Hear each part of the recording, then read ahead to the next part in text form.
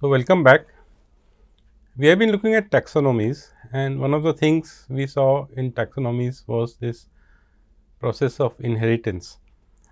And when we were looking at inheritance, we also saw that one could do some kind of default inferences in the sense that a high level concept would give you a default property or an inference, but you could override it with a inference which came from a node which was lower in the taxonomy.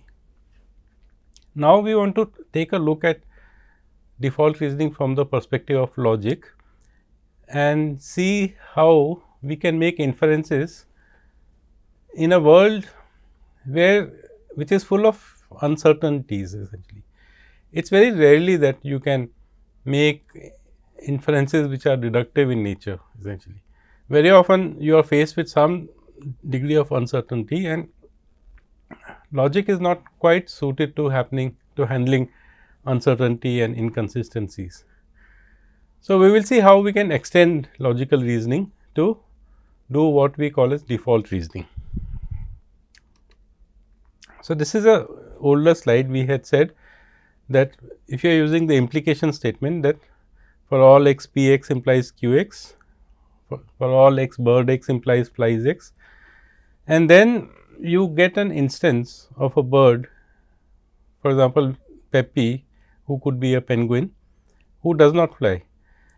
So, the moment you add that to your knowledge base that there is a bird which does not fly, it makes a knowledge base inconsistent.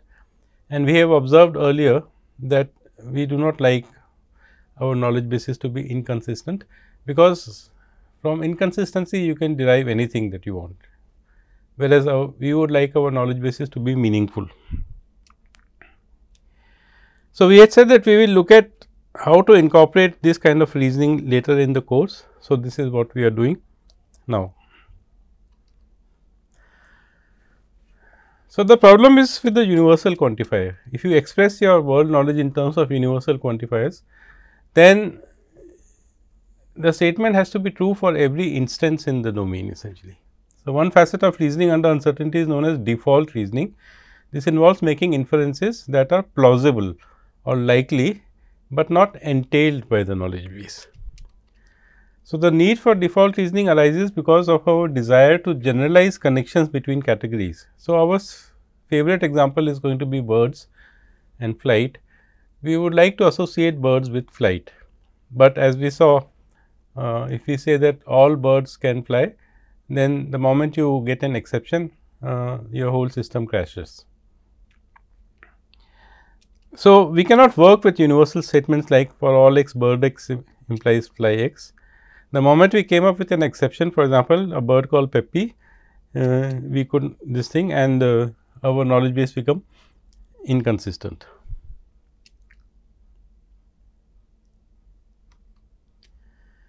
or unsatisfiable.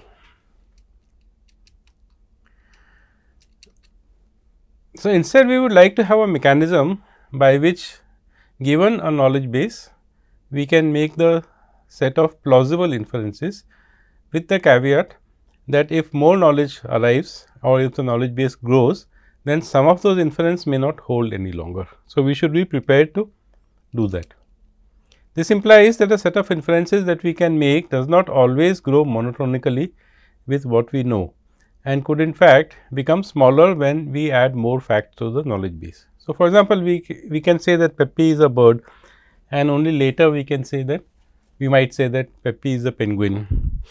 Then of course, we would have to withdraw the conclusion that uh, Pepi can fly. This form of reasoning is also called non-monotonic reasoning because the set of inferred sentences does not grow monotonically with the known facts, with the set of known facts. So, we want to move beyond deductive inference essentially. Now, one thing that we would like is that our knowledge base is a collection of true sentences. We do not want a knowledge base to be inconsistent to start with. We have seen that we often tend to distinguish between facts and rules. Facts are basically propositions, they may be statements about individuals in the domain or even universal statements which are true, but they are generally they, they often do not have logical symbols connecting them though they could still have. So, we could say that uh, Pepe is a parrot or Pepe is a penguin that is a fact and we have used the disjunction there.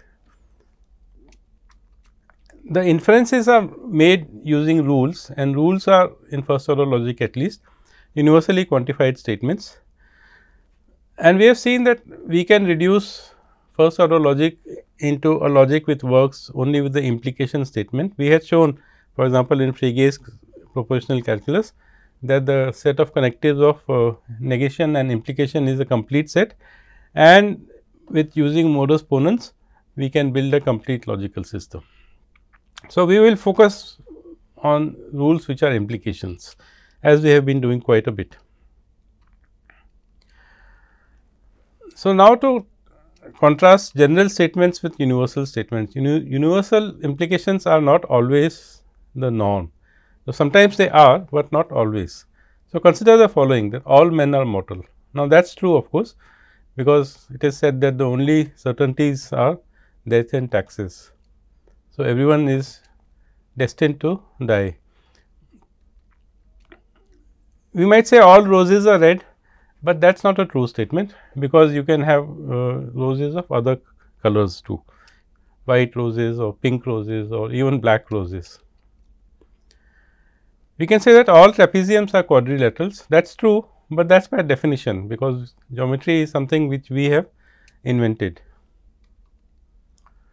All parents are older than their children, that is also true and that is true because of the way procreation happens. You first have to be born and then you have a child later.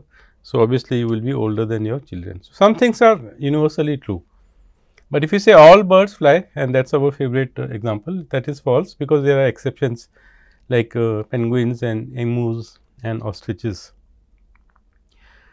All aquatic creatures are fish that is also false because we have whales which are not fish for example and snakes. So, if you were to express knowledge as universals, then some of them would turn out to be false essentially. Nevertheless, as we have said such associations are useful. So, we would still be like to be able to express them. So, we will express them as general relations and not universal relations. So, what we really mean is that in general for example, birds fly essentially in general aquatic creatures are fish, which may or may not be true because they allow us to make useful inferences. What are the kind of inferences that we would like to make? So, these inferences are called default inferences. So, for example, you might say x is a bird and we should be able to infer that x can fly or if we say x is a leaf, we should be able to say x is green. x did not go to college, we might infer that x is not bright x is a professor, we might infer that x has a PhD degree. Now, these are inferences which would normally be true, though they may have exceptions. Such inferences, though true in general, may turn out to be false if one gets to know more about x essentially. They are known as defeasible inferences in the sense that conclusions that can be defeated, in the sense that made false. So, for example, in the case of x, you might come to know that x that we are talking about is an ostrich. Or if you are talking about leaves of a plant, then it might turn out that you are talking about the Indian pipe plant whose leaves are white. If you are talking about x not going to college, then this x could be one of those people who started a software company and became one of the richest men in the world. X is a professor But I had one of my favorite professors when I was a student was J. R. Isaac, very revered and respected, uh, but he did not have a PhD because at that time one could become faculty members without having PhDs I think. So, such inferences are true in general but may turn out to be false when you get to know more about X.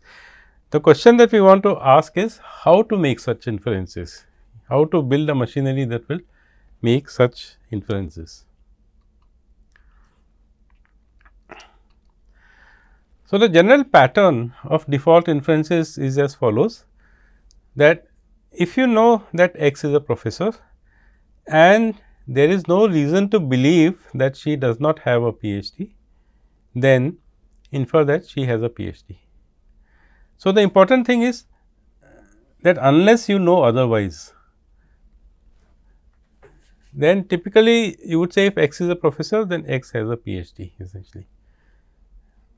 We can also rephrase this as follows. You can say that if you know that x is a professor and you cannot show that she does not have a PhD, then infer that she has a PhD. So, this is going to be the general pattern of this thing that we would like to express uh, knowledge in the form of rules which allow you to make inferences, but also put in a uh, condition that unless this condition holds essentially.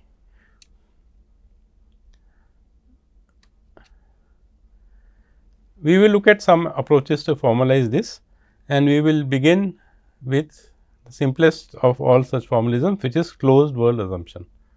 We will do that in the next session.